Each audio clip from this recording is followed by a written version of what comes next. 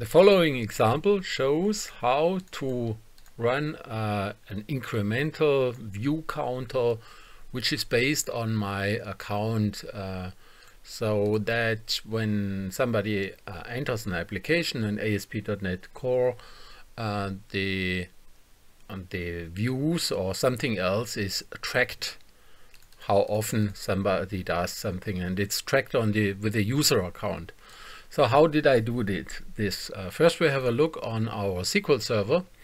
In SQL Server I incremented, uh, implemented the ASP identity network. Uh, so this is when you enter this or uh, embed it, then you will find the net users here on your uh, as a table.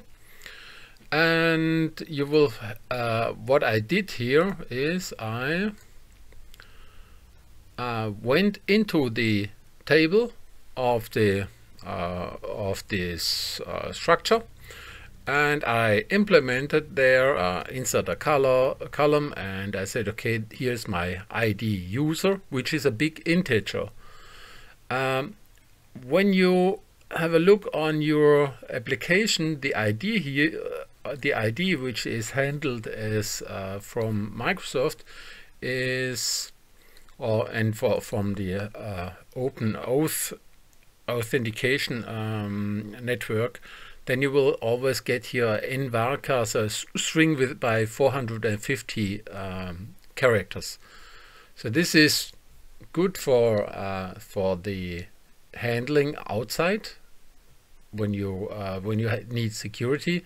But inside inside your application you need something like uh, like a user ID, which is a number. So when you have a number, you may increment your uh, your stuff and handle all that stuff. So for example, when what you have seen there, we need here a view log. So this is the logger and the logger says, okay, the logger says for the ID, uh, for the ID user one, so this is my account, uh, there I logged all that stuff. And whenever I log in there uh, there's a, a, new entry written in there.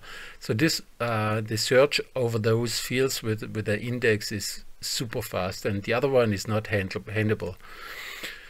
Okay uh, what I also did I made um, table here on my uh, database and I said okay there's table uh, nodes. So these are the nodes and I made a view log over that and a summary. So in the sum, user sum is uh, just a counter which says, okay, my ID user, the first user, so this is my account.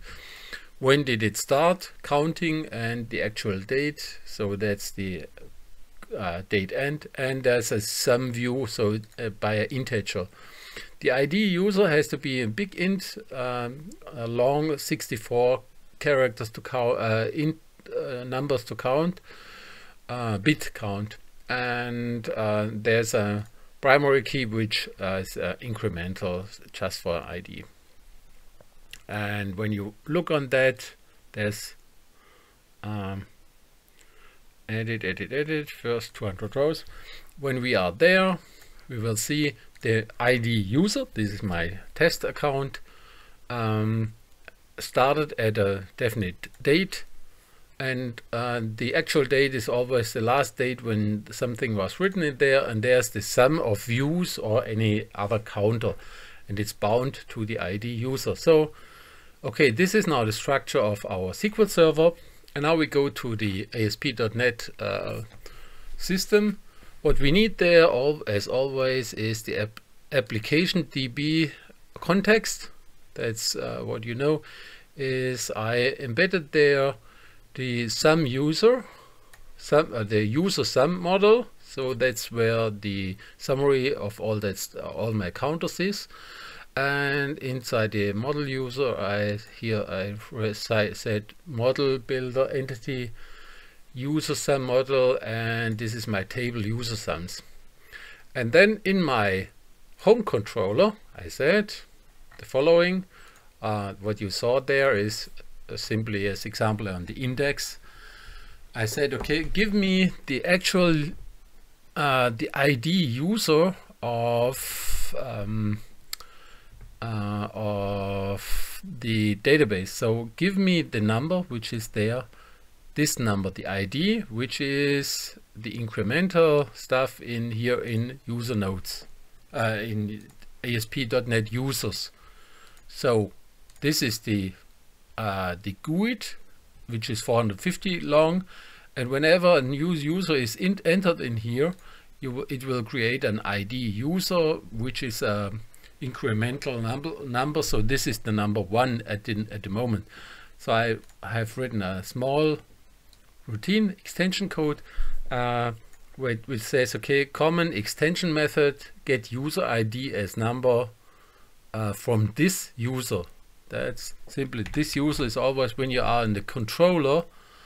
Uh, system gets the user from your um, if you're logged in, it will handle the, the cookie, the user as a cookie, and then therefore of, of this it gets the this user. So this user comes from uh, the home controller and some somewhere from the network. And then I always need the context. Where uh, is this this method? It is here in a small file which is called class common I am added this one. You may take the code from uh, from my website.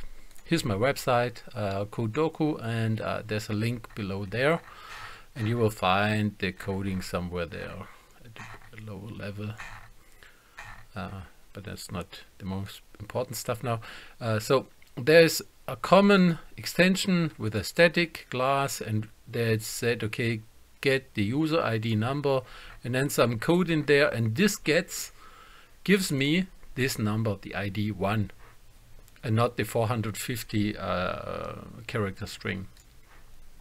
So now I have a, a, small number an ID which says okay of 64 bit long in this case long normally it's uh, 32 integer so and then I, then I said okay create a new uh, model uh, of the ID, ID user and track the actual number. So this is, I had two, two nodes uh, models in there. One is uh, whenever somebody writes a note or a comment, then there's a, this is the node model and it says, okay, there's an ID node and the ID user as you see. So this is a combination between uh, the incrementing of numbers and the user.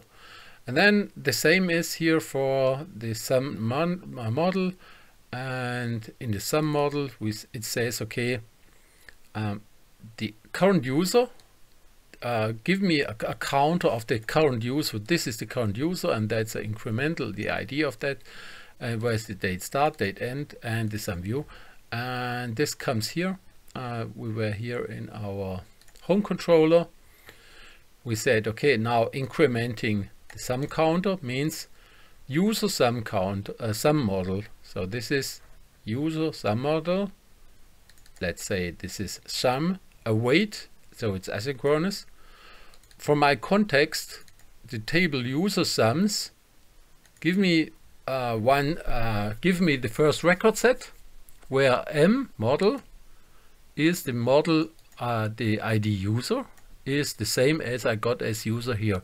So this is the user ID user, which comes from the uh, HTTP context, so the URL and all the stuff behind there, so the cookies, and this has to be the same as uh, the my my um, application context to the my connection to the SQL server says table user sims uh, user sums give me the first record set where, where those stuff is the same and then we say uh, if you find if it's nothing, then create a new record set and say the sum of this use is one. So this is when you're there, create a new one and say my view, the sum of all views is one. If it if you uh, if it's not null, if you find the same one, then increment that stuff and say the actual date end is uh, the actual date or date end of this uh, counting is the actual moment. And then finally you say uh, save changes async and then uh, the stuff is on the database. Now we say okay uh, create me a small data set which uh, which I may show at the outside. So I say user sum model uh, data. Uh, so I said okay there's a users um, um, give me uh, one record set of this of the same structure. And then we said okay a new sum model. So I'm in my uh, model and I say okay this is my actual user this is my sum and then drop all that stuff as a view data in uh, into, into the view. And the view is by convention home controller. The start is index. So we have to go to the index here. Our views home index. And there I said okay use the model uh, models user sum model so use this data structure from here this one. And and here I said okay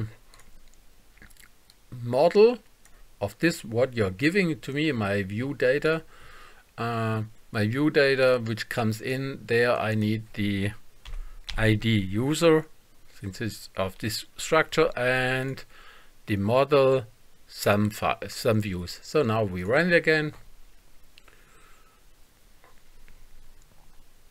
When system comes up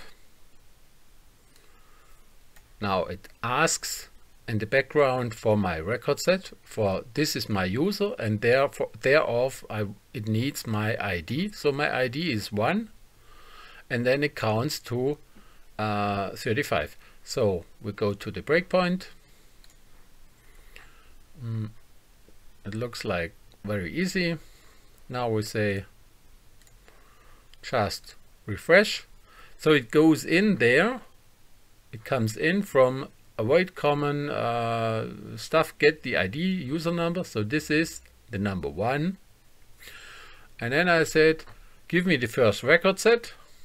And if you find something okay it found something this one then in in there actually the the record set or the it's an ADO record set uh, which is ID one because that's this one then we say, okay, uh, increment this one. Now at the moment it's 35. Go to 36 and say the actual date is the date now. Save that stuff to the SQL server and show it. Create a new data data set. And this data set uh, inside there we want the uh, at the moment first it's nothing then this data set I fill all only the important stuff. Of this important stuff, I need the ID user and the sum of views. So 10, 36 and then uh, stuff is done.